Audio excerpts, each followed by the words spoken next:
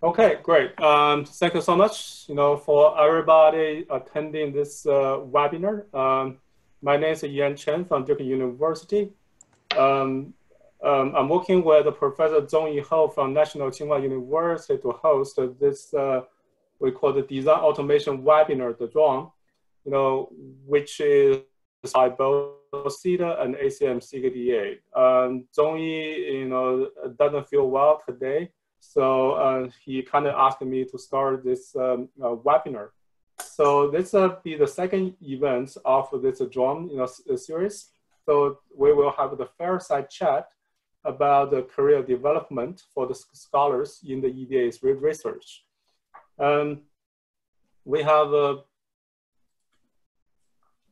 very prestigious, you know, speakers today you know, from six different universities across, you know, three continents, uh, including Professor uh, uh, Diana um, Marculescu uh, from UT Austin. You know, she recently moved from uh, CMU to UT as serve as department chair of ECE. And we have a Professor Tim Cheng from Hong Kong University of Science and Technology. Um, again, you know, he moved uh, from UCSB, you know, to Hong Kong, I believe in the last two years, and served as the Dean of Engineering School, and also Professor uh, uh, uh, Giovanni uh, De Micheli from EPFL, and he uh, was uh, the former director of uh, electrical engineering in Institute there. And also have Professor Ayse Uh, uh, Coskun from Boston University, and also Professor Philip Stanley uh, Marbell from University of Cambridge, and uh, J JV, you know, from uh, TAMU. So they are all very productive and famous you know, professors in the EDA society. And today um, we invite them to share their opinion and also thought about how to become a successful EDA scholars and uh, you know if there any uh, E experience they want to share. Um, so um, um, so I want to mention you know an, an additional event which we will organize in the DAC, which that will be the next month. Um, also sponsored by the IEEE CEDA and ACM SIGDA. That's uh, you know DAC career, uh, a early career workshop um, that will be uh, July 19th, Sunday, and also you'll including a lot of panels with detailed discussion about all the topics of interest to our audience. Uh, I was actually all the uh, six uh, speakers today. They actually very extensively involved in this, uh, you know, workshop in the uh, history, and they were even served as organizers before. Um, so um, the final thing I want to say is we need to, we need everybody, you know, to join the community and join the organization so we can uh, promote the EDA research together. And um, another, some other thing I want to mention is today we use you know, the uh, webinar function, which means you may not be able to uh, speak, but you can still type your questions, you know, through the Q&A function. So um, the, the, uh, the panelist or the moderator is able to pick up the questions and answer verbally or type in the Q&A board too. Um, so for the next, I will pass, you know, this uh, moderator to uh, JV, so he will uh, help to moderate this, uh, you know, the first chat. Again, this is not, you know, traditional panel, which means you know, we're not going to constrain the topic and you know, or the conversation, you know, between the speakers, rather than you know have a, free chat about all the questions and all, and of interest to all of us. So, Jalip, so are you able to start now? Yes, I am ready. Okay, that's usual. Yes. Thank you. Uh, so, good morning, good afternoon, good evening to everyone, depending upon which part of the world you are at. Um, so, I hope everyone is staying safe and healthy these days. Uh, so start with uh, maybe we can talk about like uh, how our lives have changed in the last three four months and uh, how we tend to remain still productive even these uh, even during these tough times. Uh, so Tim, would you like to go first? Like how would how has your role has changed over the last three, four months, and how is working from home? Uh, I think you are muted. Yes. Yeah. yes. Uh, I think from two sides, being an administrator, this has been a lot of headache. Uh, dealing with large number of students. I think some of my colleagues can, can also share that experience. But on the other hand, as a researcher, I, I think this is probably the most productive time for many of our students and the researcher because uh, a lot of typical disruption and not being able to focus, having fragmented time of your day, all this constraint is gone. So um, really, I think this is a once in lifetime experience that uh, after we become a multitasking uh, professional researcher and educator, I think uh, during this period of time, does allow us to reflect and uh, focus, which I think is very refreshing. Um, that I, I will stop here. I think everyone has probably similar experience. Well, let me say my take. I share what you say, but the, I see a downside. Uh, the downside is that you need a critical mass of people around you to create some enthusiasm. As some of the work and some of the uh, innovation come because there is a push like this. And today I'm at work. I'm really, uh, there is probably 25% of my group present and everybody's encouraged to work from home. So technically we do work from home and we do lots of Zooms and we do the communication, but the bandwidth that you have by being in person is actually much higher. So I miss a lot the fact that there is not this interaction. And also that I don't see my colleagues. I don't see what happens laterally to me. That's that I see as a problem because I can manage my group, but if I don't see what happens in other groups, which is hard because I cannot break into somebody else's Zooms or I wouldn't have the opportunity of knowing the times and all this, um, I'm missing something. Diana, would you like? Oh, next time. Sure. Um, so I think nothing is the same and nothing will ever be the same, unfortunately. Um, um, I share some of the things that have been said. Uh, I mean, we are, I think we are all um, fortunate to be computational researchers. Um, but whoever um, the researchers are that do non-computational research, that's, um, that's hit them pretty hard many labs are still closed or have reduced density, um, so you cannot really make progress. Um, now, it's true that we have a, a lot more unsegmented or um, I guess you can say you don't have that much interruptions, but that's not really the case.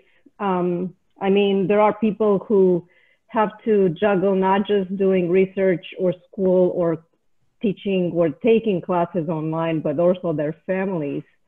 Everyone was at home until recently. Schools are out, but um, it's really, really challenging. And I, you know, I'm fortunate that my children are grown up, but if you have young children, and I'm looking at Aisha because I know she has children who are young, um, this is not have been easy. That has not been easy, um, and it's not going to be easy. Um, and um, and I'm saying that even if we're back, it's not going to be the same. Like um, Nanni said, I think the uh, spontaneity of interactions is going to be different, or is going to be gone fully. Um, so we have to adapt to this new normal. After excuse me, after 9/11, we adapted to going through all these um, insane checkups at boarding an airplane.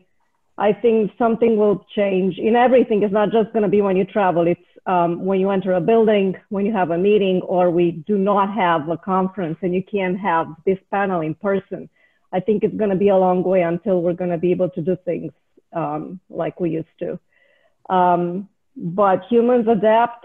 Uh, we will adapt, but it, there's a lot of challenges. And um, um, like Tim said, um, yeah, having having uh, thousands of students that you have to make sure that they learn, um, they do research, they also have lives, um, and everything is very challenging, much more challenging for them, especially if they don't have access to the right technology and they still have to make progress in everything. So I'll stop there. and uh, let Aisha and Philip. Yeah, sure. Uh, so I was gonna say, but Diana already beat me to it. I was gonna say that whoever is talking about increased productivity in the times of this coronavirus clearly doesn't have a small child.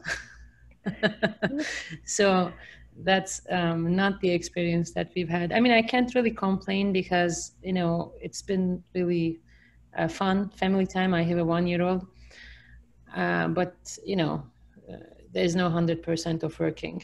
Uh, hundred percent being the normal work, you know, when you are a parent.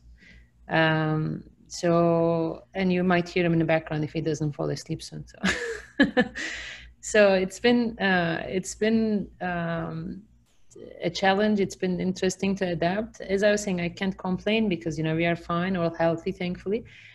Uh, one other thing that's I think um, important is yes, we are computational researchers, um, but um, I checked in with my students uh, like on how they are doing mentally and psychologically from time to time. And one thing was that uh, people had um, had some difficulty focusing, uh, especially towards the beginning of the pandemic exploding. You know, uh, with all the um, anxiety about like what's going to happen with this virus and anxiety about their families and everything.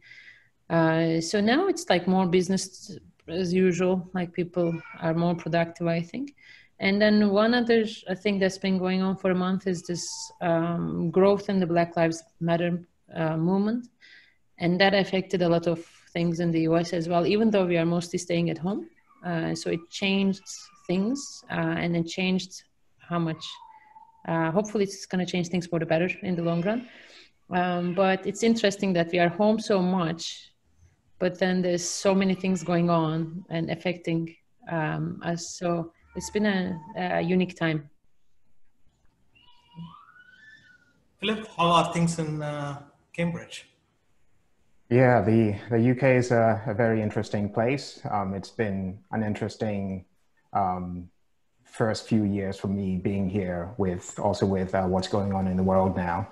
Um, I wanted to to second a lot of the things which um, Nanni, Diana, Tim, and Aisha already said. One of the things which I noticed with my group um, once the epidemic started was, or once the pandemic started, was the challenges of not being within the lab. We're fortunate that we work at the boundary between experimental work and computational work, so we could move a lot of work out of the lab. But having to work from home reduced the access which a lot of us depended on for infrastructure and a lot of the camaraderie um, which we had, I think, taken for granted. Um, and I think Nanni pointed some of this out already. And one thing which we started, which helped us a little bit, was to have a daily brief stand up discussion. So every day at 10 a.m. UK time, um, all the members of the team, wherever they are, some are in Greece, um, others are here in the UK, others elsewhere, just to have both a technical discussion, um, so other people know what you're working on, but also a discussion of, you know, what are you worried about? Um, and that I think has has helped us. Um, I think many people in computing, applied mathematics in general, and the physical sciences, I think it's reasonable to say that many of us are introverts. At least I can say I am an introvert, but it's still challenging not to have um, that interaction with peers um, and to have that ability to pick up new ideas by osmosis almost. And that um, is something which I hope we begin to appreciate more in the future. Definitely, I do miss my uh, coffee room conversations with my colleagues. I think that's where some of the nice ideas usually come up. And uh, yeah, so just to lighten up the mood, um, have you taken up any new activities during these lockdown times? So to give an example, I started cooking daily. I never thought I would do that. Well, maybe I'll, I'll start and you know hand over to my my colleagues. I'm not as fortunate as you. Um, I have dinner duty every other day, so I was having to cook every other day already. Um, my my wife doesn't let me get off the hook so easily one thing which um, I have been doing more is um, my wife and I garden, um, not sort of cosmetic gardening, but you know we grow our own vegetables, and um, having to battle with caterpillars and understanding, you know, how to grow broccoli the right way has been a revelation. Um, but that's not a, a, a technical um, sort of uh, idea. What on the technical side, one um, important thing which I think um, I have begun to to grapple with, and I don't want to say I've sort of learned yet, but understanding how to listen better in my um, sort of online conference calls with other people and making trying to make myself better understood. Um, the need for that has been accentuated by the, the absence of the, the in-person face-to-face discussions. And so i hope you know after the pandemic is is over it's something which will be a transferable skill which i and my team could um, apply in other in other um, contexts. But I think that's that's it from my side. Awesome. So I can share from two different aspects. One is more personal, which is uh, I think in Hong Kong, uh, we experienced uh, the COVID-19 earlier than most of you. I think we start pretty much late generally. So from early February to pretty much end of April, I got a chance to hike every weekend because you know you go out, you don't want to touch anything, you don't want to interact with people, you want to maintain social distancing. And many people didn't know Hong Kong has probably 80% of the land actually are classified as green area, national park, etc. So after being here literally four years, it was the opportunity for me and my wife going out and uh, hiking without talking, which is quite experience. And the second experience is more related work. Um, we start our new semester supposedly February 1st, but uh, because of COVID-19, which occurred late February, we delayed the start of semester by two weeks. And we have been pushing for mixed mode teaching, blended learning, etc., for so many years. But this was the time really mobilize the entire university to do interactive online teaching like Zoom, schedule in the uh, teaching in the scheduled class time, but everybody goes in. So a lot of training, they have to use the visualizer, use three devices, face, see the PowerPoint, see your face, and see the whiteboard. So this gone through a, a mode that we never experienced before. But because of that, three weeks later, we did a survey to the entire university. Surprisingly, students initially is very negative toward online teaching, but the survey showed the result is better than the typical semester, which is a physical class. So this taught us a lot. Means uh, if you do it right, there are a lot of things should be changed and what we learned is what we did before was not the most effective way. So that's another piece I think is relatively surprising and very new to me. Nanni? Well, my concern is how long uh, is it going to last in the university setting? Uh, we plan to have a regular semester and we hope the situation will be such that we can have it I think that experimentation was good. I think, as Tim said, we discovered many good things. But if we were to get into a mood, like I think in Italy it is, that where next semester it's already blown away and people talk about having spring 21 or not, uh, then it's uh, really serious because especially young people in the first two years may not get interested in going to school at all uh, again, because of the balancing of the uh, technical and emotional experience of a university.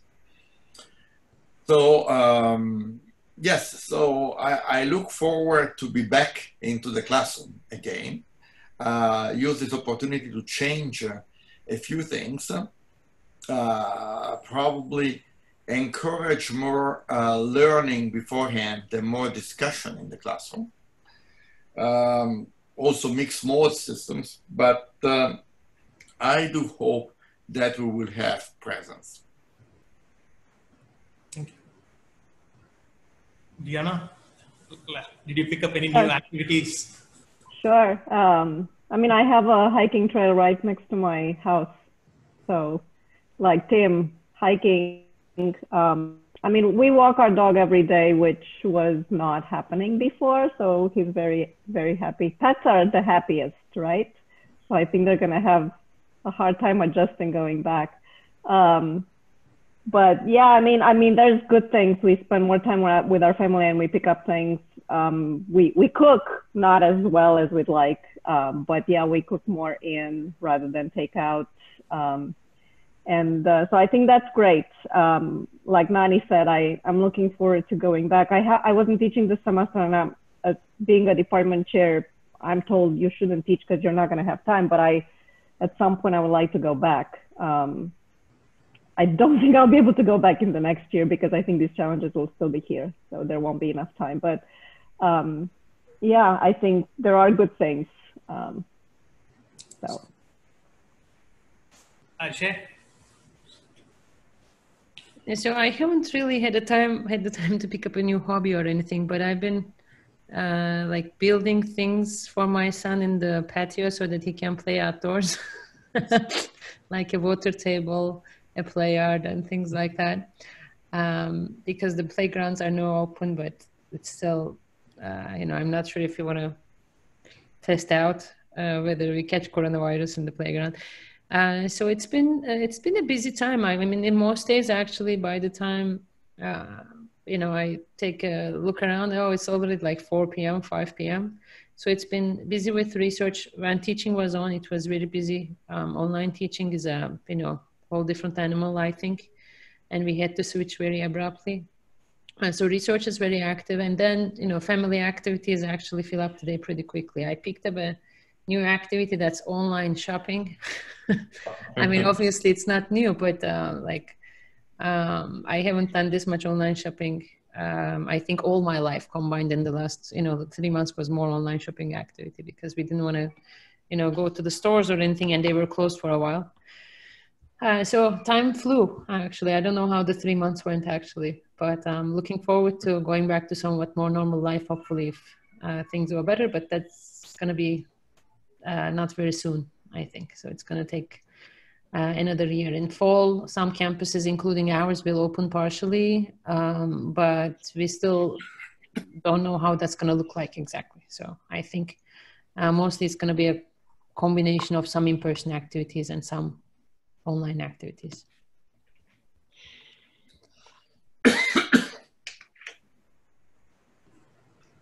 Flip, I hear you have a question. Yes. Um, so I have a question for for Diana, uh, Tim, and Nanni, and it's for for a researcher who's in um, a department which has people from the physical sciences as well as people from computer science, electrical engineering. I find it, especially as someone who studied in the US and moved to Europe, that it's challenging to um, get across the idea to my colleagues, for example, that Asplos is a good venue or that, um, you know, some of the venues which we all know, DAC, ICCAD, are good competitive venues. And anything which is not a journal paper, essentially, if it's science or nature, everyone knows. But if it's not science or nature, then people, you know, question, you know, what you're doing. That is the context. But I think that there has to be a way to uh, to operate in this context successfully. And I don't think it's unique to Europe. So what I'm curious is if you have any advice, ideas, um, perspectives about how to to function in such a context, whether it's you know um, in the U.S., in Switzerland, or in Hong Kong. I mean, the the way this is a very common question, but the way uh, you address it, you make a list of all the selective conferences, starting with Asplos, continuing with ISCA, Micro, DAC, ICCAD, um, and you show the acceptance ratio and compare that to a journal. A journal would accept more, um, and also it takes much longer to publish. Um, explain that much of the things that you can publish in these conferences is very relevant So it has to pu- be published earlier rather than later. Um, and I think you just have to educate people around you. So um, I've been I've been at three institutions. I mean, at Maryland, I've only been there for less than two years. Uh, but at both uh, CMU and UT, there is enough knowledge within the department. So you have people with degrees in math and physics. You also have people with degrees in computer science, electrical engineering, or computer engineering, or ECE. Um, but there's enough understanding that they know um, what constitutes a good publication record.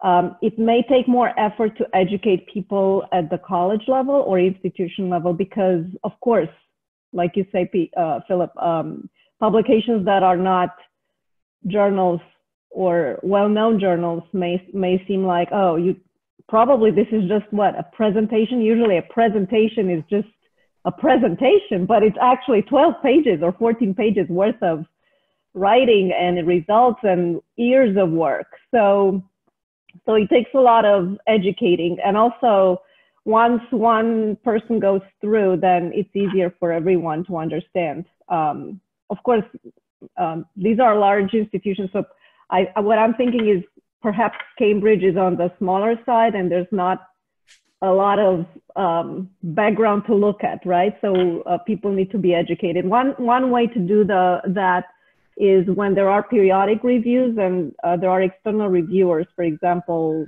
letter writers, if they are from, um, you know, places where this has been done already, those letter writers could educate those who read the letters. So I think that's that's very important to do, and it should be done.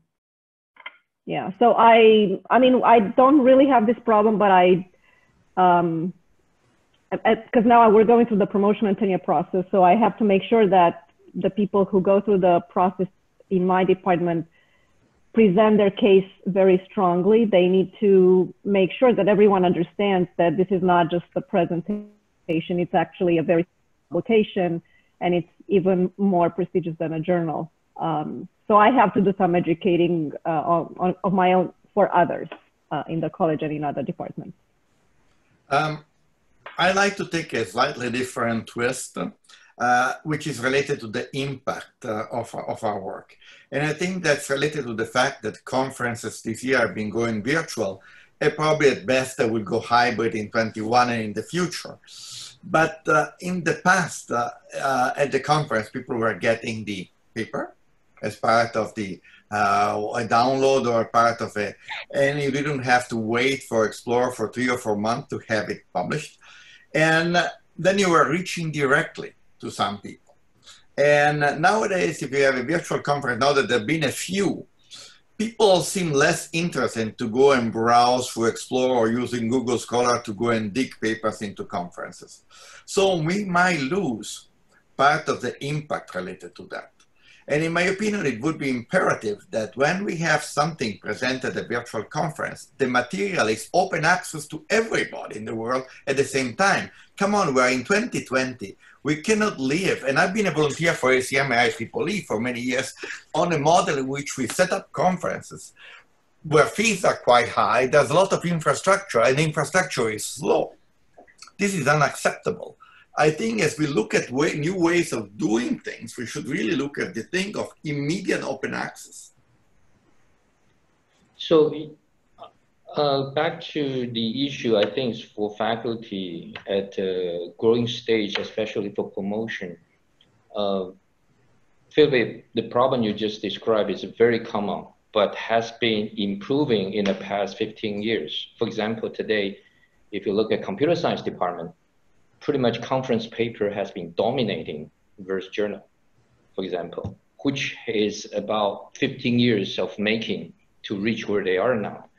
And the mechanism which has been established, for example, senior faculty related to your field, before promoting any candidate, I think they need to, in the faculty meeting, in the university meeting, to prepare for the list of top conference in the field, or even educating the general uh, evaluators what the relative importance in in, in terms of conferences versus journal and in terms of citation count. For example, if you're in the civil department, which is part of my portfolio, if they have a cita Google citation of 3,000, it's very, very high. And if you are working in machine learning today, if you have that number, it, it's almost look like you're not making any impact. So even citation count itself for a well-established university for evaluating the productivity, we often say it's just for reference. It's never been used as absolute measure. And likewise, conference versus journal in most organization, I think a top university, it should have the knowledge of importance. For example, like give you example in our uh, ECE department, there are so many different subgroups. So each group will have a list of category A conference, category A journal, category B conference, category B journal. You cannot have every conference as a topic, category A for, for sure. And this kind of knowledge information has to be maintained in the department. So every time you hire someone, for example, look at resume for applicants, that will be a reference and you use the same ruler, use the same yardstick to evaluate your own faculty from the publication aspect. And uh, we cannot ignore the fact that, that in academic, no matter how we say about impact, publication, citation count remain to be a very important metric. However, how to, to evaluate that based on the question Philip you asked, conference or journal, etc., etc. That domain knowledge for specific field, I think all departments need to develop that independent of a candidate, independent of the field. And the mechanism, I think you should work with your, for example, more senior faculty, advocate this.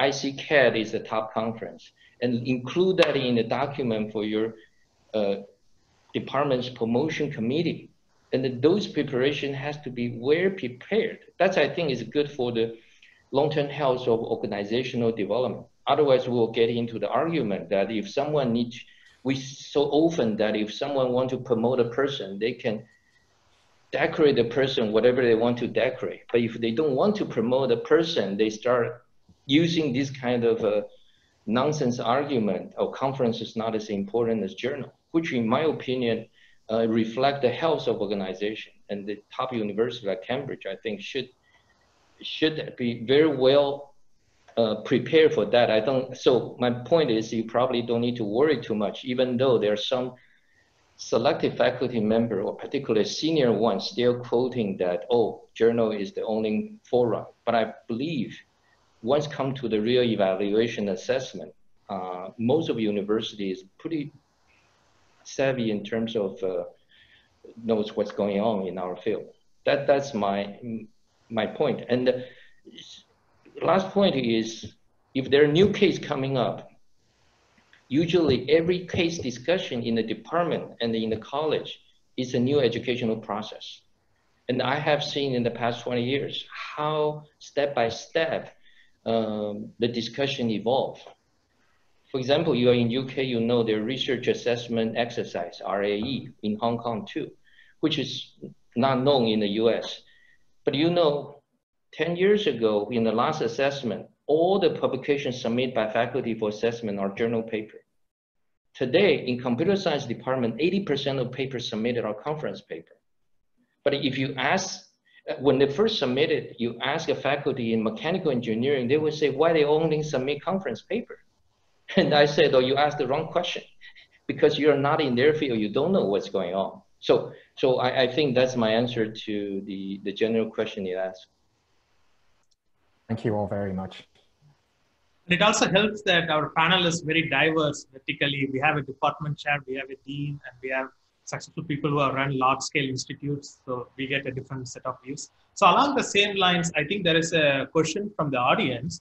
Uh, so the question is, what could be the impact on academia job market, whether short term or long term, uh, because of COVID-19, and especially given the visa restrictions of certain countries?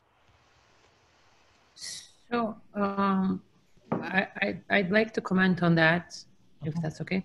Sure, totally fine. I mean, it's, it's open Yeah, yeah I, I've done several faculty searches um, and um, um, in computer engineering broadly.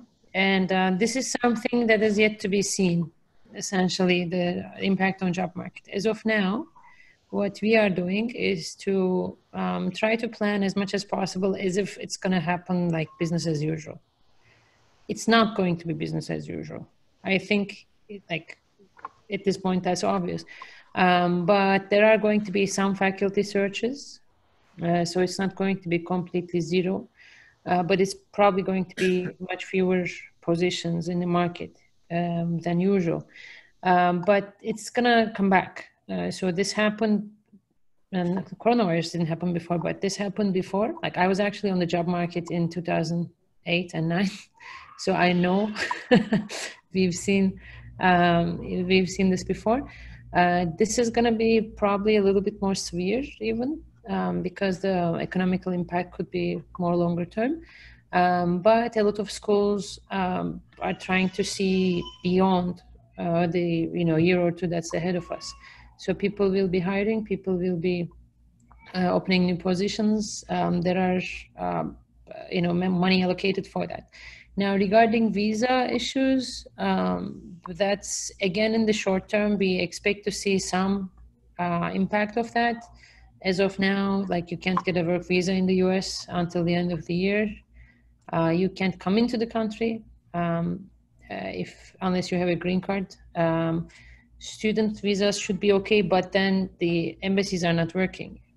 so, so clearly, there's going to be some impact for uh, for this from the students coming to campus side, but also from the faculty search um, angle. Uh, again, I think if anybody is going into the job market soon, I would strongly suggest to try to see a year or two ahead, um, and you know, positioning yourself accordingly, because things will come back to normal-ish, uh, you know, whatever the new normal is. Um, but we will see some impact in the year, next year or two. Well, to be quite frank, without getting into politics, what will happen in 21 and beyond will depend more on the election than on COVID. Um, that's, uh, I think that the news of today or was yesterday, maybe in the US, that there would be no green card issued or no H1 visa for the next six months, it's really a disastrous move for the United States tech market. That's a, that's an abominable decision. Um, outside the US, like in Switzerland, for that is still more or less business as usual. I'm in a state university, it's a federal university. We have our budget, we are actually hiring along the cycles of the hiring. So we have not seen anything related to COVID that will change. And also Switzerland typically is uh, fairly stable that if things get better or worse with a 20 years horizon, so people still get hired or are going to be hired. Uh, probably the, um, the thinking is in which direction you want to go. And some areas like computer science are still extremely promising as hires because of the need to educate. Really, still masses, companies, uh, corporations uh, uh, to use uh, CS uh, tools at all levels.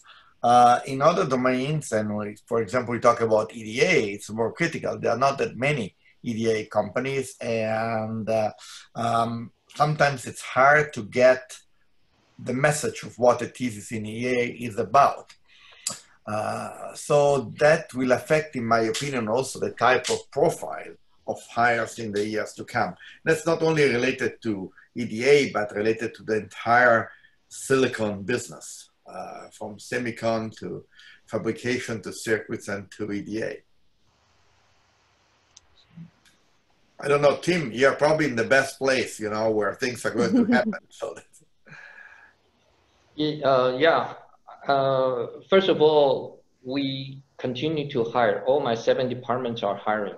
And uh, actually, many of our colleagues comment that under the very unfortunate situation, which create a special advantage for some university which are not hit by the budget, uh, being a public university and the government has been fully supportive for the growth, particularly there is a, a, drive to change the economy more from the service economy to knowledge economy in this area.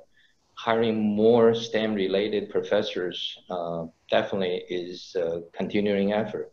So from that aspect, um, I don't see in this region there will be any slowdown and maybe there even acceleration of hiring talents due to the circumstances. And I want to extend the comments about the, uh, the visa as well as the graduate student aspects. I think what happened recently um, a lot of panic is for among Asian students, particularly going to US. They are not going to get a visa, and the school is about to start.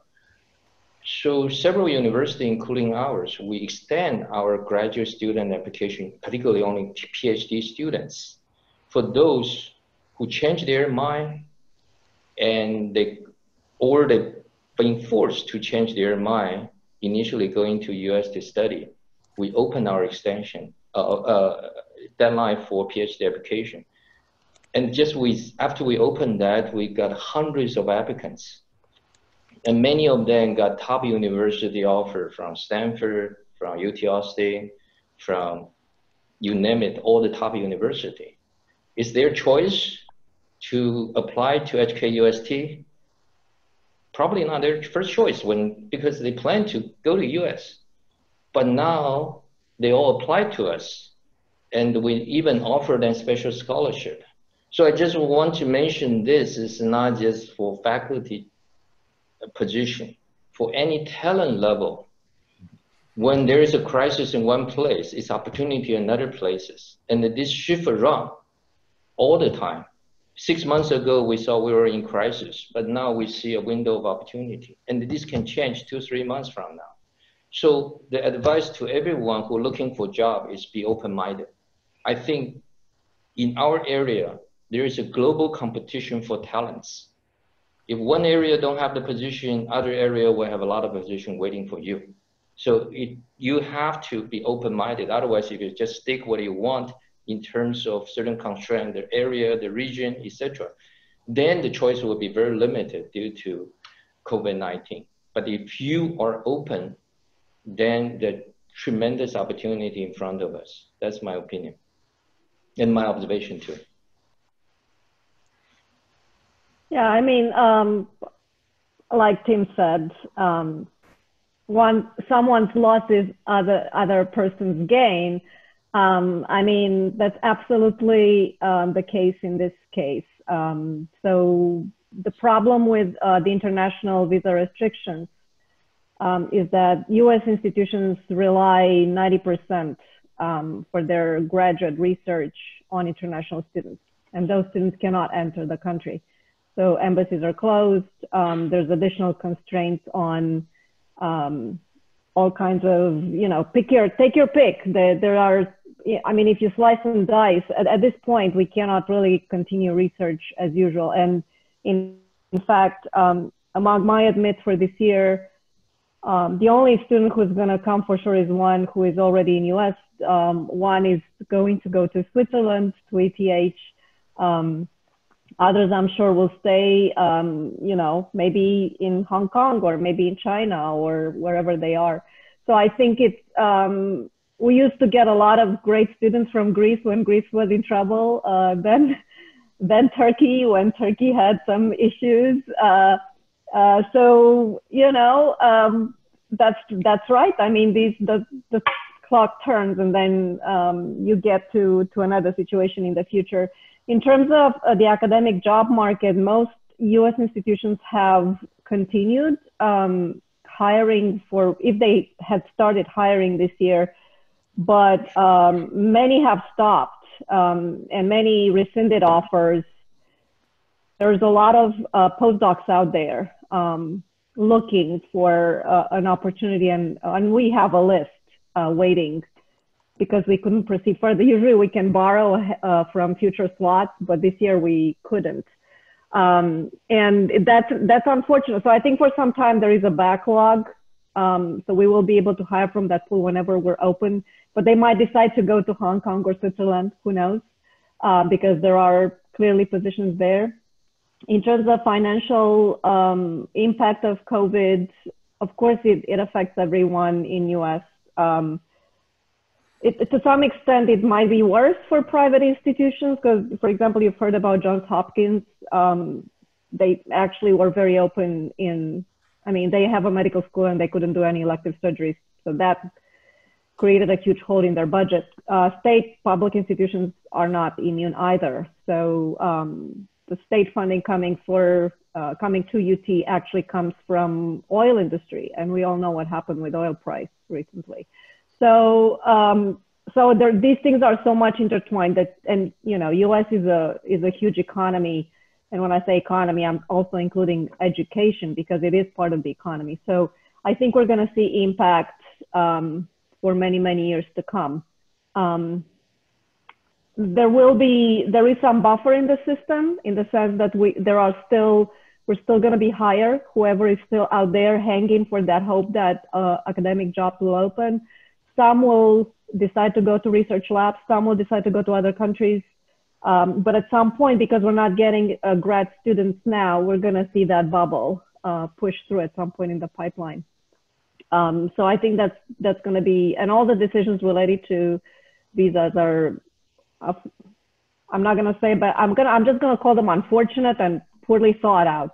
Um, but it's much more than that. It affects everyone, um, and it affects high tech industry. It affects education. Um, it it affects everyone um, in this space. So, yeah.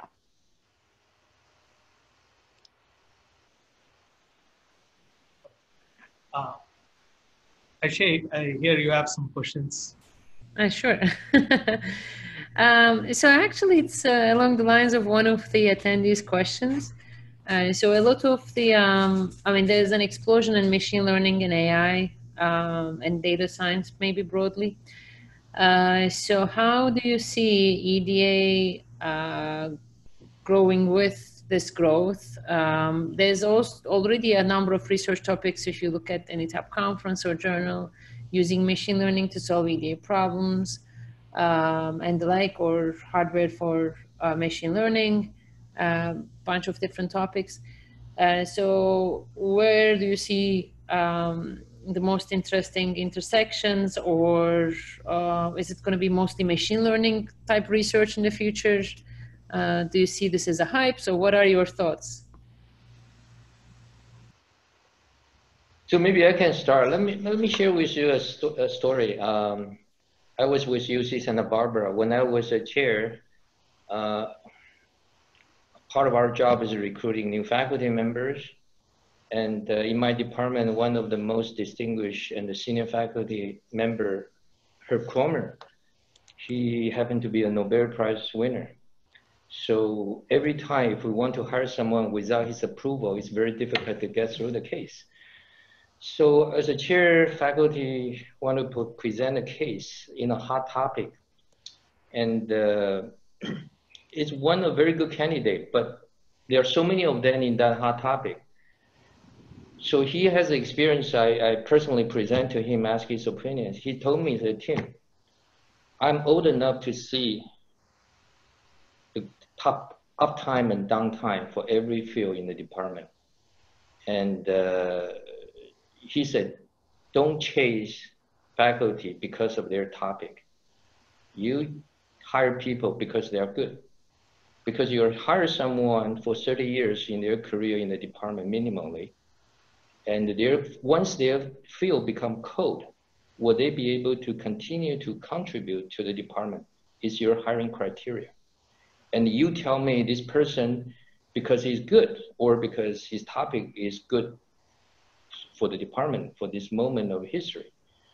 And I use that example to also share with all the researchers that um, hot topic will get cold. And there's so many people working on that. In academic, the criteria for success is being the best. You can be the best in a niche area. But if you are not the best, you cannot be considered very successful in the top university. So therefore, uh, if you want to chase a topic that uh, which are hot, the question we want to ask ourselves, will you be able to become the best? If you are not able to do, try to choose the topic that you have a chance to maintain your edge and maintain your excellence. So independent of uh, whether it's machine learning or not, I know the challenges the students who, the good students always want to work on to hot topic. That I think is the only reason we shift more toward for the recruitment purpose. But I think should not be for your research choice. I always use three criteria, interesting, usefulness, and novelty. And in EDA, in, in academic, you always have to be innovative. The novelty criteria can never be compromised. But don't underestimate the other two elements, which is usefulness and interesting. If you're not interesting, you're not going to do a good job. Good job. If not useful, you cannot make impact. So the combination of these three should always be constantly evaluated. So without directly answering whether which topic would be useful, I think the guideline is develop your career for long term. You're not developing your career for the next three years, not developing your career to next get the next grant. So um, that that's would be my my general answer.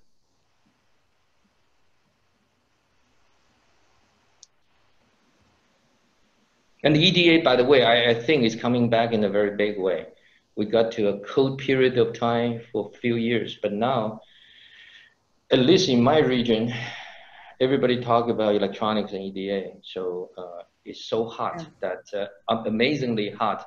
And uh, that remind me in the early 90s when all the department are closing the field of uh, power systems, right? and a lot of department. You, you old folks are too young, but Nanni probably know that Berkeley even closed the power system branch in the EE, EECS department. But once it reached 2000, early 2000, when energy engineering become one of the most important topic, everybody looking for who is working on energy system, power delivery. Whoever working on that area become the hottest people. And the same as AI. Theory group was the coldest one in the 90s. No student in computer science want to study theory. Even 10 years ago, in my department, people were asking why we have so many theory people. But now we enjoy that we have so many theory people look like the, the best department. But that experience tell all of us that we stick on what we're doing. We need to evaluate regularly. If you're doing something is dying, will not come back forever, don't waste your career. But if it's important field during the winter time, then you wait for spring, wait for summer. And when summer comes, you are the, in the front, then you will enjoy the success. If you keep chasing the topic that everybody else is chasing, the chance you get in front of others will be way lower than you stick to what you are good at. That's, I think, it's very, very important for younger researchers. And that, that will be my, my piece of advice with someone with white hairs. Tim, I couldn't agree more with what you said. I think you made it very clear. And I would only add one thing for people who are in EDA and are in their career, uh, keep in mind to be broad. Uh, EDA is a field, and I think the importance of EDA is that people in EDA solve complex problems through some uh, heuristics typically, and the methodology of EDA can be carried over to other domains. And that's the big opportunity for being EDA, because again, tomorrow you can be in another field, for example, in drug design, uh, just to give one thing. Um, so that's important, not to be overly specialized. Uh, and because also in uh, forming the grad students, if a PhD student has a broad basis, beyond having, of course, a contribution on a particular topic, the students would have more chance to find an ideal job after graduation. I say, so what, what I, uh, if I can add, um, um, I found that the most successful students um, are the ones who are, like Nanni said, broad. Um, they also read quite a lot, um, meaning they are able to be agile and move from one area to another. um, you know, throughout their career. So they start as students, they start being very, or they are um, inherently very curious. Um, and they start in one area, they move to another, um, maybe they come back to where they were. Um, but this gives them the opportunity to, to be broad, but not shallow because they do understand um, the internals of every one of these things. Um, so I think that's, that's the, I guess what, what separates those who just go for the hot topic uh, because it's hot. Um, and also conviction. Many people will tell you, um, well, when, I was doing um, multi-clock um, domain uh, design or, you know, voltage frequency island design, my first proposal, I sent it to NSF in 2003, I believe. Um, there was there was a reviewer from a company saying I, because they self-identified as being an industry reviewer and they said uh, i have a laptop running on a single clock. I don't see a problem with with that anytime soon. Um, fortunately SRC funded that project and then we were able to continue but um, had i decided okay someone from industry tells me this is pie in the sky why should i even do it um, i should have stopped but i didn't because i had the conviction that this will be really the case. I mean, there's no laptop that runs on a on a chip that is single clock anymore. Um, we know that that's not possible. Um, I mean, at least to deliver performance that we want. So, identifying where, uh, what are the directions you need to go, um, things that are that you're passionate about, um, and you know that combination. I think it's uh, the recipe for success. And you know, I, I worked with Philip around the same time on electronic textiles and other things, um, people were saying, oh, that's never going to pan out. And, you know, fast forward 10 or 15 years later at the Met Gala, you see Lady Gaga wearing an e-textile outfit. So we were too early, I guess. uh, but you, you'd need to have the conviction um, and you need to, if you, you have to believe that it's going to pan out and then uh, eventually someone will, if not you, someone will will pick it up and and you'll have the impact. So, yeah. Thank, thank you. Uh, so I think there is also a follow-up question along the same line.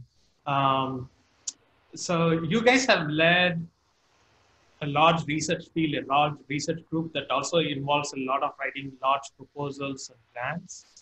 Uh, how do you make these things happen? What are the challenges you face? What are the, some tips that you can give to young people? Well, I, I, think you have to have the courage to make the leap, to bring uh, up new ideas. Um, I, when I moved to Switzerland, uh, I started a big pro, uh, program, program, not even project, on uh, electronics and computer science for health and environment. I picked those two areas, and actually, if you look in retrospective, they were they are extremely important today: green electronics and protecting the environment and monitoring the health.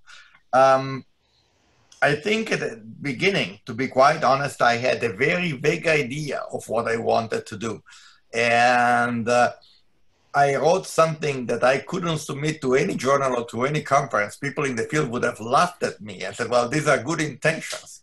But there is nothing to that. But I had the faith to go on, to explain it to my boss, to the president of the university, to carry over this. And of course, as the process was going on, I was reading and talking to people and learning more.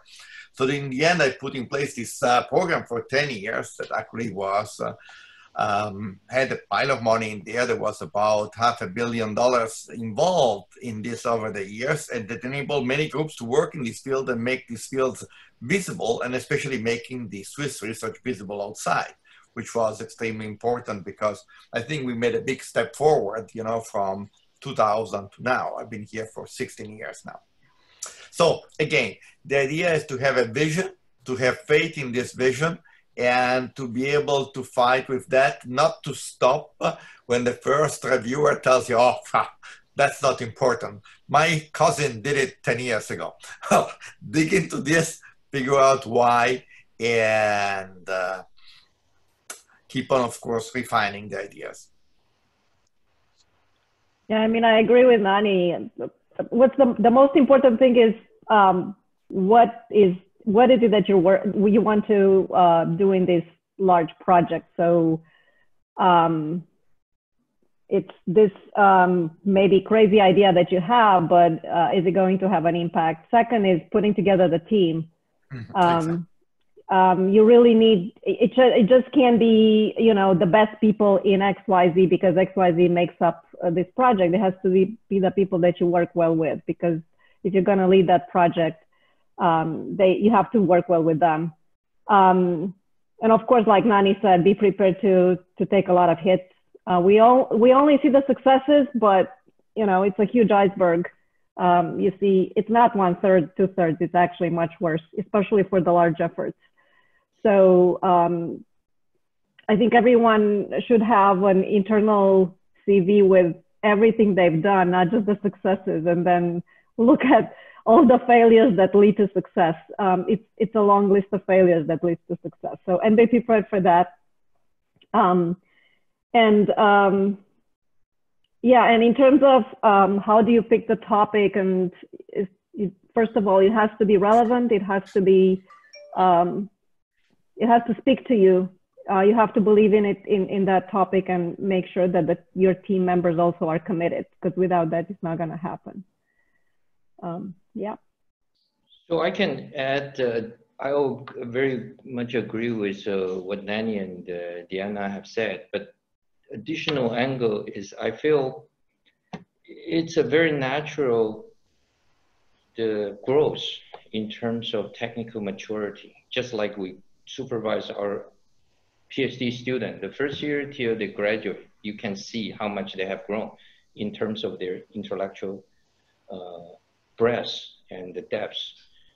The likewise, I think for faculty growth, I think in early stage we tend to be very focused. You try to make name in certain area you're working on, and you work on that the topic yourself, hundred percent, and then gradually, I think if you have the flexibility and the vision to look into beyond what you have been doing, the understanding of what matters to what you have been doing. But give you a particular example, EDA has been there for so many years, but people these days talking about EPDA, electronic photonic design automation, because what the photonics is going through is following what the electronic industry has been going through, which require integration, um, all the tool requirement. But getting into that area, you really need to know enough about photonics.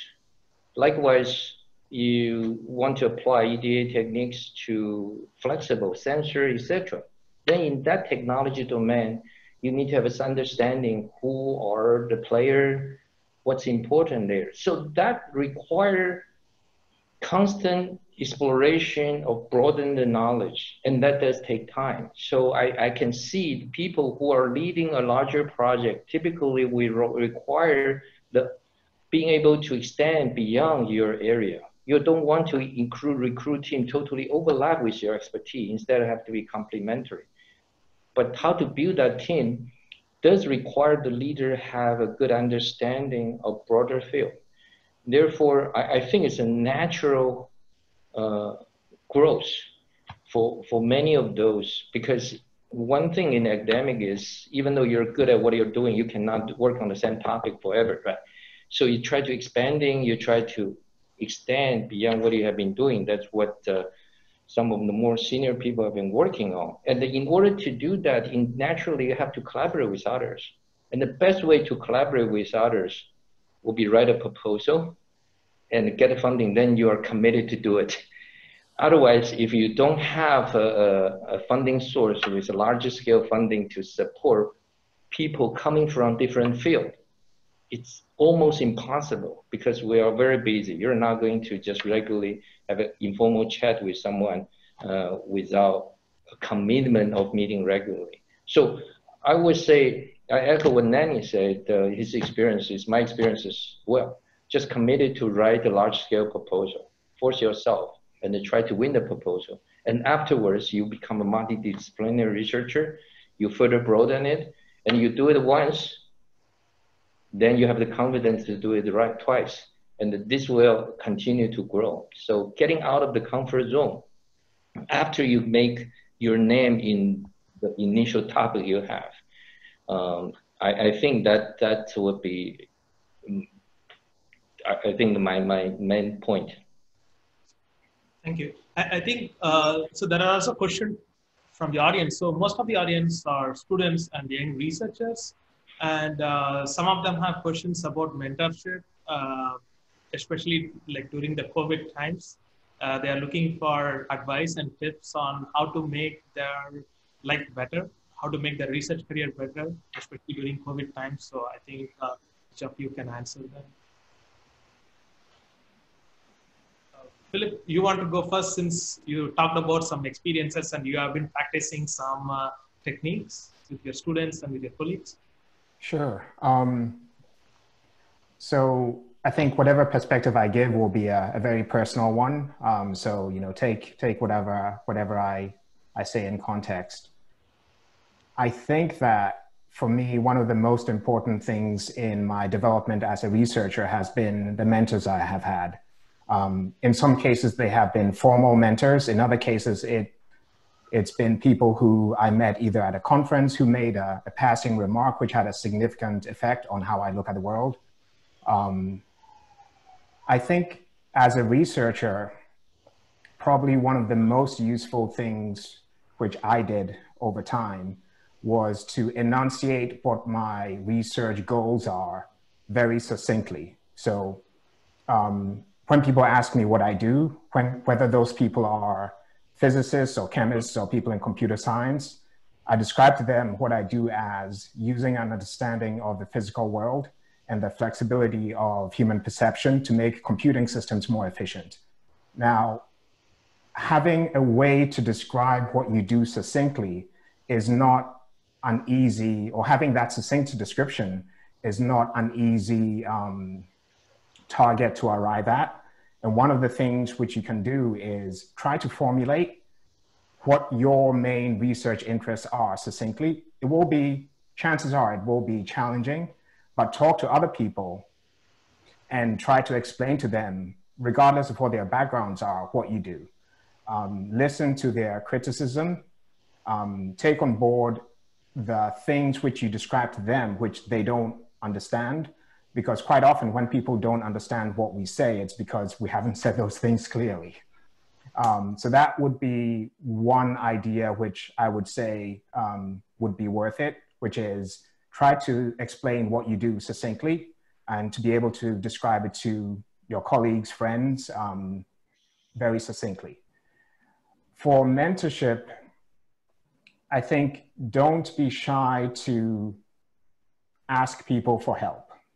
Um, one of the most, I hesitate to say powerful things, uh, which anyone ever said to me was, you know, don't be shy to say, I need help. Um, when I get an email from someone saying, Dear Philip, I need your help with X, no matter how busy I am, I feel really bad if I don't, you know, do whatever I can to, to chip in. Um, so don't be shy. Um, be honest about what you know and what you don't know because that honesty comes across when you're asking people for help. So if you say to people, I, I read your paper, um, I've done the following background work, and I need your help with the following thing. Um, and I realize that, you know, I, I'm deficient in sort of some specific areas of, of technical knowledge, but I think here is a way in which, you know, you could uh, provide useful input. I would say those would be two things which I would mention as being things which are worthwhile doing to either explain what you do to people or find mentors who might be able to help you in your technical um, growth.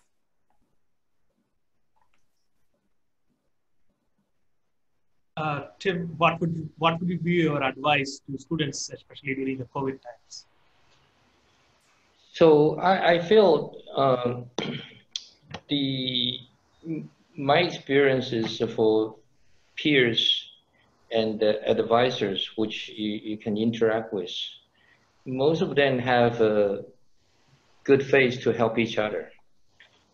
However, to be able to build a very healthy communication, especially online, and that apply to physical meeting as well. What I found is sometimes people going to a meeting or going to a discussion is ill prepared. So you want to ask question, then do your homework. For whatever idea, even though it's not well articulated yet, but it doesn't prevent you from list all the fragment thoughts you have. So when I meet with students, I always say, well, I'd like to hear what you're thinking. Instead of you keep asking your advisor or your friends what idea you can give it to me. So take the ownership in the interaction, which means you go to a discussion thinking that it's my meeting. You see a lot of people know how to run meetings because they take this view as this is my meeting. I go to see my advisor. I want to get most of out of my advisor. That's always what I told my students. My time is yours. Try to take advantage of it, use that time. But if every single time you come to a meeting, you could not answer the second question, follow up for the initial question, then people lose interest interact with you. I also share with my students, for example, all students coming to PhD, they have a purpose. They, they want to make progress, which is very valuable attitude. But why some student can form a very interesting discussion group, even online today, is because they prepare other people feel valuable when they discuss with you.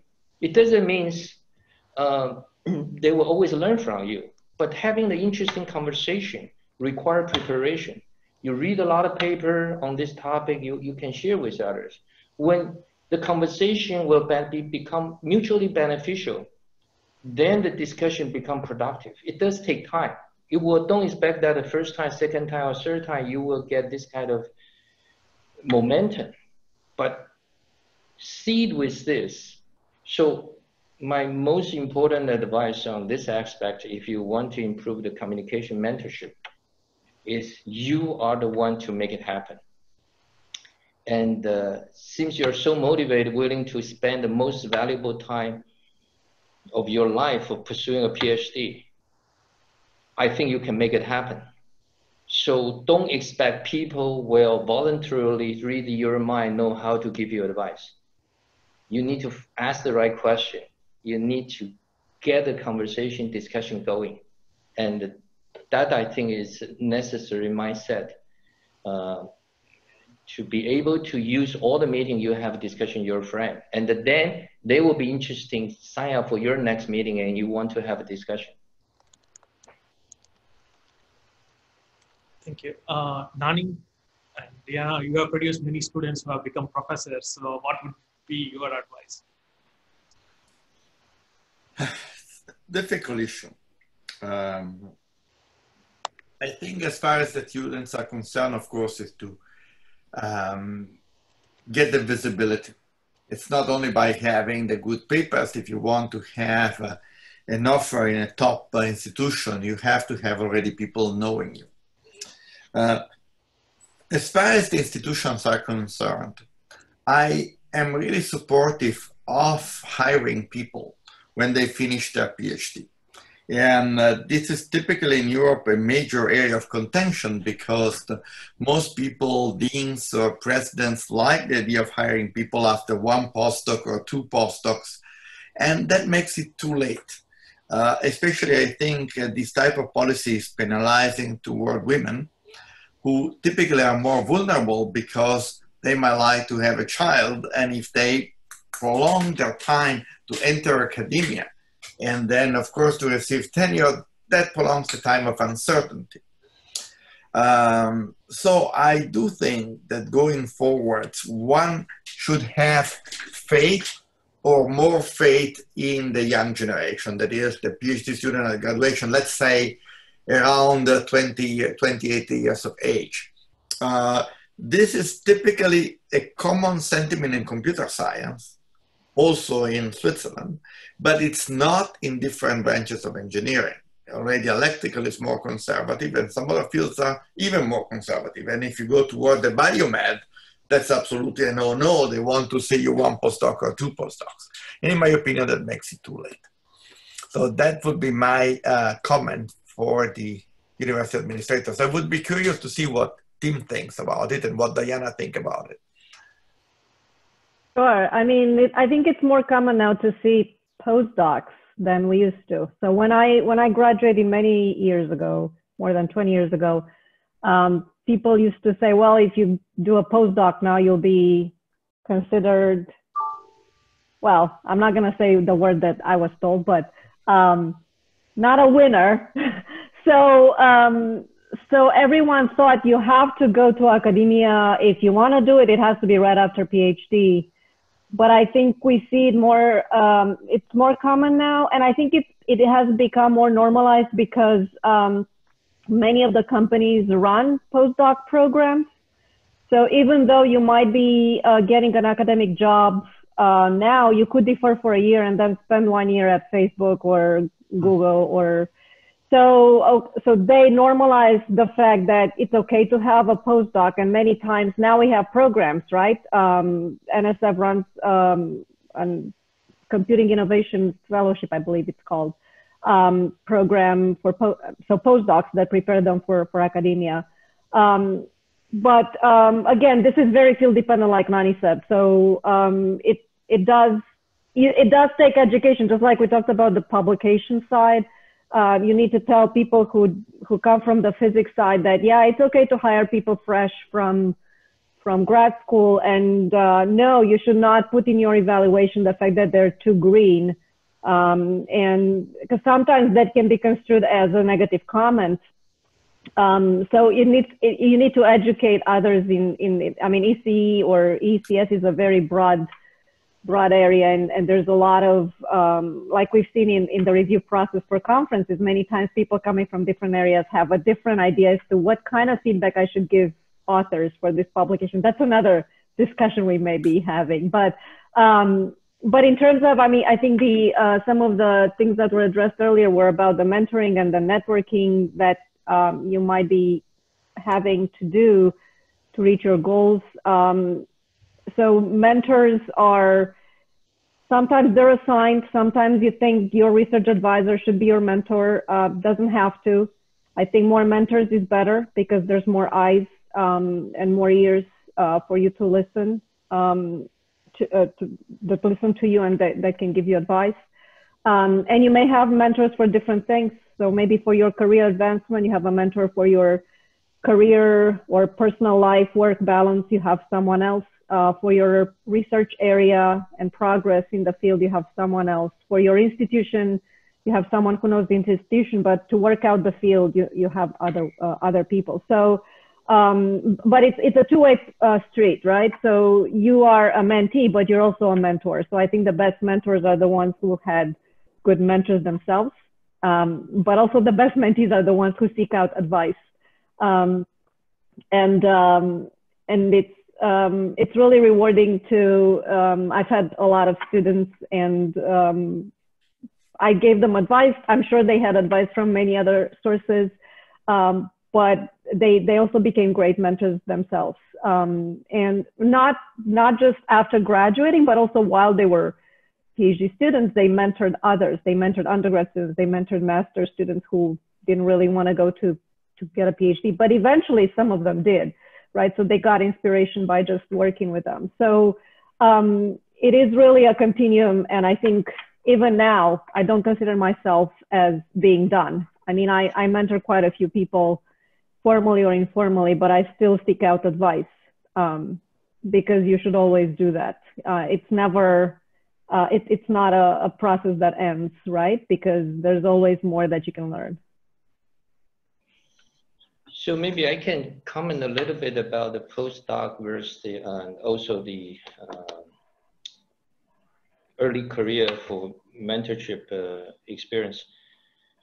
The first of all, I think uh, whether to do postdoc or not used to be field dependent. For example, in uh, biology or health area, the statistics show the first independent job is age 37. Typically, you have to do nine years of postdoc before you can get an independent job, which I think is very unfortunate. But on the other side of the spectrum is computer science. Typically, uh, the, the graduate, PhD graduate can get a teaching job. But increasingly we see even for area which do not require postdoc, more and more uh, PhD want to do postdoc for the good reason.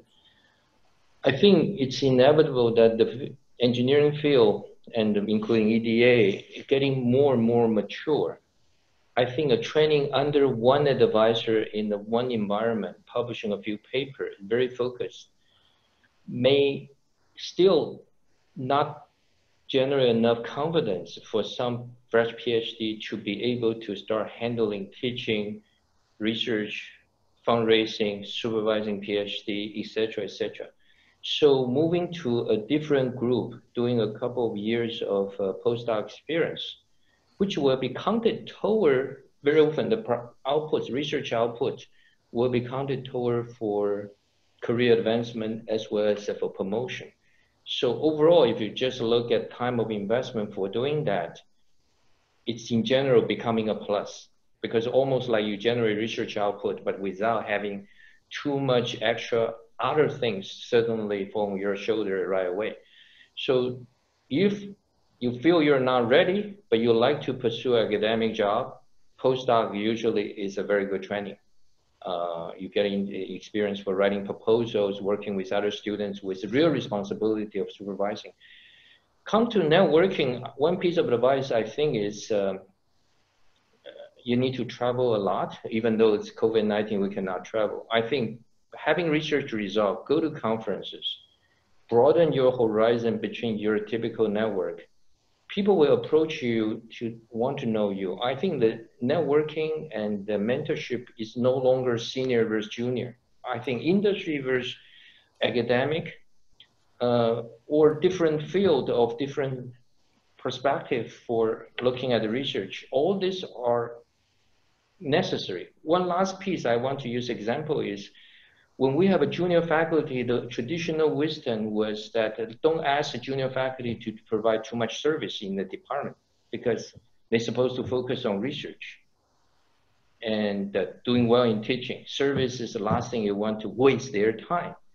But later we figure out that that may not be the best arrangement because then the junior faculty don't know what's going on in the department, has no idea when you evaluate, uh, for example, uh, candidate for new position, uh, the, these involved in the discussion doesn't know what's important, what's not important. The only uh, job searching experience for academic job is his or her own job searching experience, which is very limited. Therefore, being able to expose to that is kind of learning process as well as how you fit in. Another example is when I become chair, uh, in UC Santa Barbara. Before that, I was very reluctant because the UC chair job is is a, a, job that you have a lot of responsibility. You didn't have any authority. That's a chairship. It's not headship. I didn't want to do it, um, but being twist my arm, eventually I agree. But finally, after a few years of training, I kept telling all the young people, after I did this administration, I did a chair job.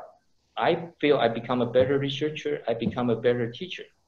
The reason is I was put in the situation to evaluate everybody, to maximize the resource, to have a broader understanding of the topic. You are forced in that position, therefore you will start reflecting on what the time you had spent when you were junior, when you were younger. A lot of time was not well spent. And a lot of things I thought important was not important. A lot of things I thought was not important turned out to be most important. Therefore, using those examples would be, I think, once you start your career as a junior faculty, expose broadly, and especially the professional society and in the department, all these issues considered as a networking opportunity.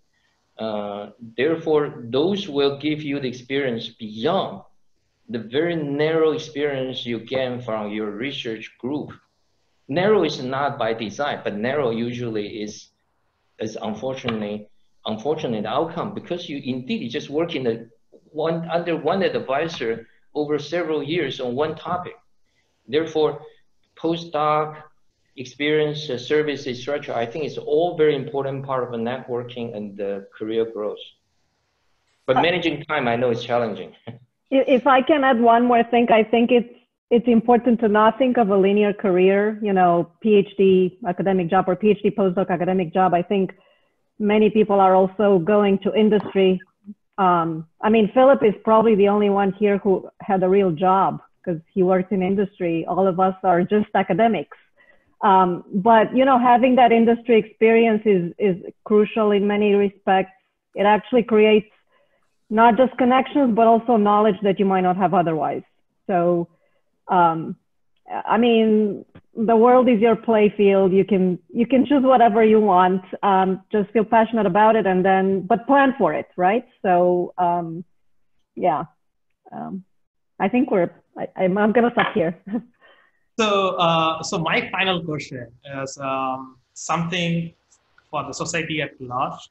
So, we are all professors um, and it's not just us about like writing a paper writing a proposal or mentoring students but we also have some social responsibilities uh, so like i tend to participate in protests on black lives matters as well as educate myself as well as surrounding people on the diversity and things of that sort and I, and I try as much as i can to ensure fairness in many communities that i serve uh, but i still feel that i'm as a professor, I can do a lot more. Uh, so as a senior colleagues, can you please advise me on like as a professor, what can we do uh, to solve these societal problems?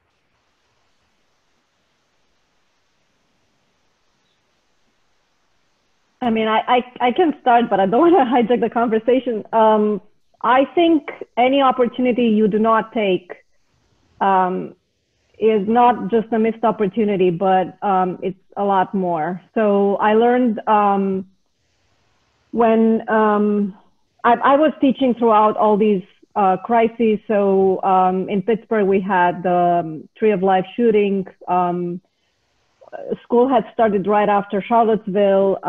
so we had many opportunities for, I guess, faculty to interact with students in the classroom. Um, and I think not in, not just in the classroom, but also during group meetings, um, lab um, encounters. Um, even though I'm not teaching right now, I had I did of course um, take time to connect with everyone, students, faculty, staff. Although we are we are pretty much done with school, so we're not and we're not on campus, but you still have to do it. Um, and I think the, the the reason I say you have to do, I think it's it's our responsibility. We're not just here to impart knowledge um, or inspire people to you know go in this field or another. We're also here to make sure that um, we connect with them and we support them when they need it because um, and it's you know there are events that may be outside their control like the covid or um, you know social unrest due to black lives matter the fact that they feel the need to or responsibility to do something um, or they are directly impacted by it um, you have to be there to understand their needs and support them. And it rather be it, it should rather be proactive rather than reactive. I feel we're doing a lot of reactive things. So we say, oh, now we're going to put our diversity and inclusion plan. Well, you should have had that for like 20 years now, if not more, right? Um, so I think there's um, there's a great opportunity right now to jo- not just talk but do things. Um, but we shouldn't forget that it doesn't have to be just people like me who are chairing a department or like Tim who are deans. Uh, it's everyone. You have you have people in your research groups. Um, you even if you're a PhD student, you have others who you're working with. So I think it's it's really important, and it it's so much more important now when we're apart um, than when we're together um, because it's um, these things add up. So we might feel like we're operating normally. We're not. Um, it's it's it's important to put ourselves in other people's shoes and understand their perspective. So um, educate yourself, um, understand why things are happening, understand that there is a right and wrong. I mean, there's, I'm sorry, some things are just black and white and you, there's not, oh, some people are good, some people are also good. No, there are things that have to be understood once you educate yourself and you're on the right side and you know how to explain to others. So I think what I told my students um, after Tree of Life, um, I just told them, and I had international students in my class. They didn't understand what, what is, uh, for those of you who are not familiar, this was the shooting that happened at a Jewish synagogue that was just a few streets away from the campus. And um, I told them, well, educate yourself. You're surrounded by people who are from all over the world. You are from all over the world. So if you walk on the street and someone tells you something or you see something happening, feel free uh, to intervene and educate others. Um, I think um, as bystanders, just by being a bystander not intervening, I think it's more damage than not speaking up. Um, and I think we have to do it more, more so now than ever. Uh, Nanni, do you have some advice on the? I think that I, I agree with uh, Diana. We have to stand on the issues. We have to be proactive and we have to express our opinions. Uh, sometimes we are told that as uh, uh, professors we should shine away from politics but uh, um, sometimes you shouldn't. I just recall, for example, five years ago, there was a poll in Switzerland to put uh, regulations against uh, immigration from other EU countries. And as a result, uh, part of the Erasmus programs were canceled. Uh, that, uh, that poll unfortunately passed. And I remember the day after the, the vote, that many students were very disappointed. And then some of them were asked, what did you vote? And they didn't even realize that they voted against their interest. Um, so of course there are some issues that are important enough that relate to us where we have to stand clearly and say, well, we think that this thing should be done this way. Otherwise it's harmful for society and for the people around us. I think that's important. Tim, uh, you being a dean, how would you view this as, as well as a senior faculty?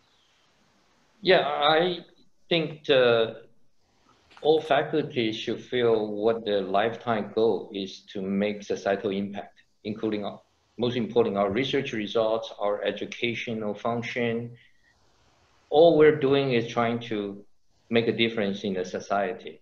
Not to mention that if you see problems that in the society, we have the responsibility. Professorship is a very well respected position globally.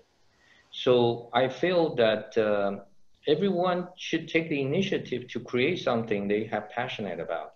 One thing which I was not realized when I was young, I learned that a lot later, was professor platform enable you to do a lot of things. It's not just teaching your class and doing the research under the grant you're funded. No, there's many other things you can take the initiative to do it. And as an administrator, if I have a young faculty who want to start something, I'm so pleased to see it. Whatever resources he or she wants, I will provide. But the problem is very few professors, because we're busy, very few of them are willing to take the extra energy, time to start it. And it's also very difficult in the academic environment for administrators to create something, forcing faculty to do it, because the nature of academic is bottom up. So my, I have some very uh, highly visible young professors. They have passion, for example, for teaching. Um, their research is great, but they make a tremendous impact on co-curriculum. They form a competition team, then they uh, recruit the underrepresented member. They even have outreach program for underrepresented uh, disabled uh, uh kids, bring them to do underwater robotics activity. And it start from volunteer work until the point that they really don't have enough bandwidth beyond their teaching responsibility, then we assign us as a teaching responsibility doing this outreach because we feel it's so relevant to the mission of a university. Therefore, we accommodate uh, to allow them to do things which was non-traditional in the typical university environment. Another example is that uh, I want to mention is, you know, graduate student mentor, uh, mental health problem has been a very, very serious issue. Hmm. Then there's young faculty. Typically, we ask the counseling services, etc., to, to deal with that. But then there's a young faculty member feel passionate that, that he just cannot stand this anymore. He feels that some situation in the university that uh, we haven't really been able to to help the students get out of their problems. So he creates certain program and reach the point that become part of his job. So I try to point out that the, the professorship is a very, very powerful platform. If you feel that you can make a difference, do it. And if you do it well, it can, can become your main job. University can create a position for you to carry out your passion because we're very flexible in terms of how to assign everybody's job and create a position. Uh, so follow your heart. And uh, at the end, I think we all measure our satisfaction based on what difference we're making. So if you identify a certain area, just carry out your, your, your, your uh, passion and uh, fulfill your responsibilities. Thank you. Uh, Ayse and Philip, you have something to add as uh, young professors we would like to participate in in many of these things, right? Yeah, I'll, I'll, uh, without taking too much time, I'll just say something quick. I think um, what I learned um, throughout this pandemic and then followed by the Black Rights um, movement uh, growing, as I mentioned earlier, is that it's um, never too late to educate yourself and we need to dedicate time for that. So time is something that we are lacking. Like as a phd student you are busy you become professor you're even more busy. You get tenure you get more busy you get an administrative role then you get even more busy. So there's always a lack of time but we do need to set aside time to educate ourselves on important issues. Uh, and I basically suggested the same thing um, to my group, to my students. Uh, so um, identify what you're interested in. Maybe you can't really be interested in all problems of the world. There are too many of them, but identify and then learn more about it. And there are great resources online, and there are um, plenty of opportunities to learn from books, from movies, and uh, so that's one side. The other thing is, I think often we are in our little silos. Like I know a lot of people in my department. I know everybody in my department but then I realized during this pandemic that I know very few people outside engineering, and that's a that's a problem. Uh, so we need to make an effort to learn more from people who are remote in other areas, and even like who are not professors. You know, so uh, we need again to dedicate time and think about like where to go. You know, what interactions to create to basically get out of our comfort zone and meet with others and learn from them. I think that is very important. And it doesn't happen magically. We do like it's almost like a you know, calendar item kind of thing. Like you need to set aside time to do these things. Uh, Flip. Yeah, I'd like to second two things which um, Ayse said, and to add a, a, third. So I agree, you know, almost violently with what Ayse said about educating yourself. I think that is uh, very important. Um, I also agree with the the idea of literally putting something on my calendar.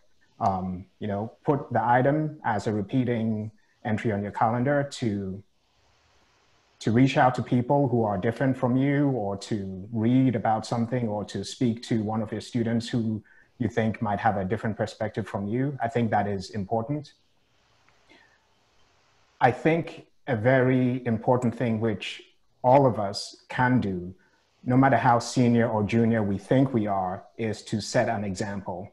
Um, I think when people, when we see someone, whether junior or senior or one of our peers, do something which we believe um, contradicts what is right, I think it's important for us to um, try to address that in, in a constructive way you know, speak to them after the event and, you know, say to them, I think it's often useful to describe to people how the things they have done have made you feel, because then it's not confrontational at all. It's, you know, saying to a person, the comment you made made me feel in the following way, and it's not a judgment of them at all. Um, in our roles as leaders of groups, as junior or senior faculty members, I think there are also situations where we need to show leadership. Um, if someone says something which, like Diana said, really crosses the line, we need to be able to say very politely and immediately, that crosses the line. We do not do that in this research group, in this department, in this institution. Um, and importantly, to say that in a way which is not aggressive. Um, it takes practice, um, and I, but I think it's something which all of us um, need to try to do if we can. Yeah, that, that, that's a great point. It's, it's important to immediately educate them, as uh, Diana pointed out. Um, so I think Yiran showed up. I think uh, we are running a little over time. Uh, so there were a lot of questions from the audience, but in the interest of time, as well as to keep the topics as diverse as possible, I have to skip some questions. So I'm extremely sorry to those people whose questions haven't been answered. But uh, let me hand the mic over back to Yiran. Oh, thank you so much, JV. Uh, I think you did a very good job you know, today to motivate you know, all the uh, audience and also speakers. I also want to thank for all the you know, panelists today. So for them to uh, spending time, you know, uh, with us to share all these valuable opinions. I know some of them need to get up very early, and the team need to uh, stay very late. So and also thanks for all the attendants, you know, who are also uh, spending time to participate in this uh, event and also asking the questions. Uh, we I, we uh, still see 10 questions we haven't been able to address, but I will encourage you know all of our attendants to attend the DAC, you know, you know where we're going to have the early career workshop and also, also some other events to address all these questions. Again, thank you so much for the speakers and the attendance and wish everybody and your family a healthy and happy summer. Thank you so much. Yeah. Thank you. Good night, Tim. Yeah.